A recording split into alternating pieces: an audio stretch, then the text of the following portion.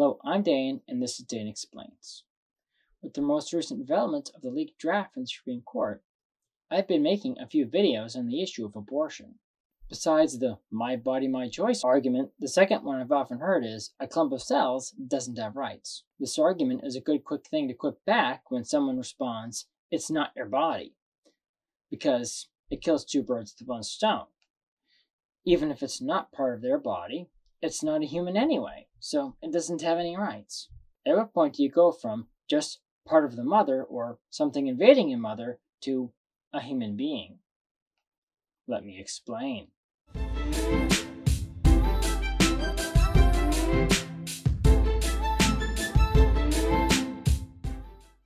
I already talked about what is and is not the body of the mother and the fetus, and also the ethics of aborting a fetus after you've already considered a person. Those videos are linked in the description. Today, I'd like to talk about something related to both of those. From the perspective of a molecular biologist, when do you become a human? There are philosophical arguments to be made about who's actually making the definition and does it matter? I mean, legally speaking, you can declare anything is or isn't a human. I think that most would agree that, let's face it, that doesn't really change reality. You don't suddenly declare that an eggplant is a human and therefore deserves all the rights a human has and then expect that something is going to fundamentally change with the eggplant. Hey, so we're going to stick to the science.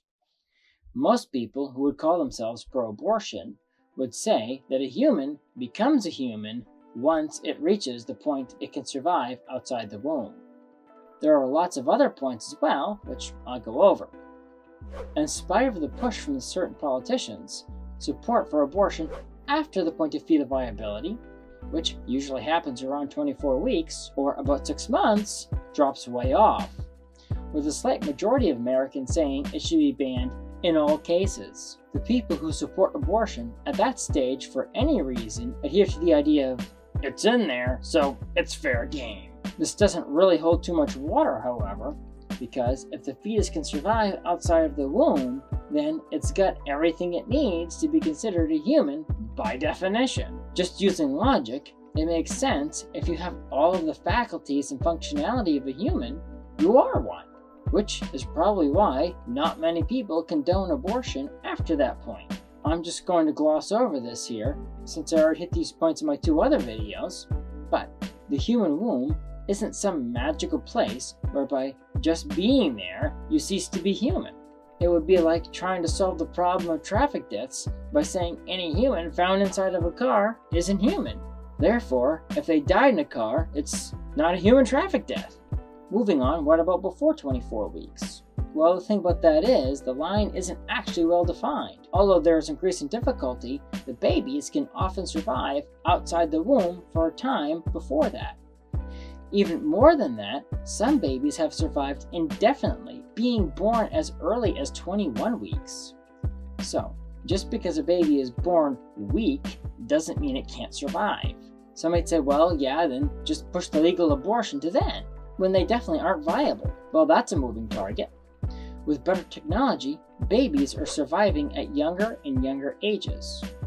I don't think anyone would say a baby at 21 weeks in the womb in 1950 was less of a human than a similar baby in 2022 just because they didn't have the tools back then for it to survive. There are new emerging technologies like artificial wombs that could push this back even further, possibly all the way back. So, whatever point of pregnancy you pick, it may eventually be wrong. So, it's pretty clear, logically speaking, the use of fetal viability to define what is human and what isn't is an arbitrary one, and soon may go all the way back to conception. The other kinds of definitions you can use, besides fetal location and fetal viability to define if it's a human, is fetal development. How developed is the fetus? Does it have enough parts to be human? Another definition people like to choose is the detection of a heartbeat. That's usually around 12 weeks of pregnancy. The thing is, just because you can't detect it doesn't mean it's not there.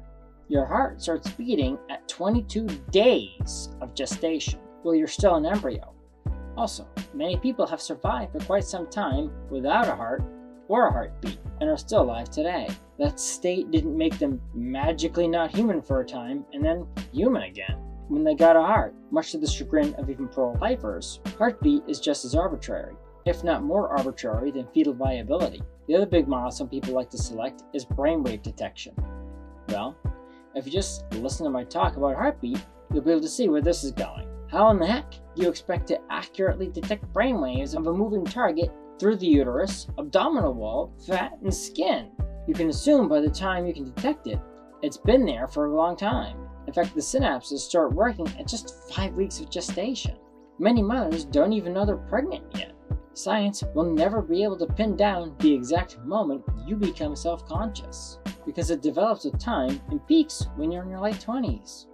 Yes, I said peaks because it declines as you age. So you literally have to pick some arbitrary point or some other arbitrary metric to decide what's a human. Once fertilization happens, what's called a zygote forms. It's a single cell with the same complete, unique genome the adult person will have. The human zygote, given the proper starting conditions, namely a human womb, will develop continuously until it's in its mid 20s, at which point it starts to decline. It doesn't even have to be in the womb of its genetic mother. So when do you become human? Think of starting a fire with a foot and steel. The first thing you do is set up the proper conditions to start and maintain the fire when it's really tiny. You get a pile of moss or some other dry material, and you shoot a spark inside. After the fire starts, you protect it from the harsh wind, all the while gently blowing on it to feed and grow it. Once it's ready and the fire is stable enough, you start to add kindling until finally it's a large fire, easily burning on its own. At what point did that fire become fire? The moment the spark formed when the metal hit the flint? When the spark ignited the moss? When you first spotted it inside the moss with your eye? When it consumed most of the moss? Or when it was able to jump from the moss to the kindling? Scientifically speaking, the fire existed the moment that hot spark hit the fuel in the moss and started setting off a self sustaining chain reaction. It may start small, but as long as it's nurtured and protected from being snuffed out, the fire doesn't die out. Before you know it, the fire will be warming and sustaining the very person who ignited it. So, when does a human become a human? Conception. Picking any other point just doesn't make scientific sense. Thank you for watching. If you like this video, please press the like button. Subscribe to my channel and ding the bell to get notified when I post new videos. Also, please support me on Patreon, link in the description. The more people support me, the more time I can dedicate to making videos like this one. So, until next time, have a great week. Thank you.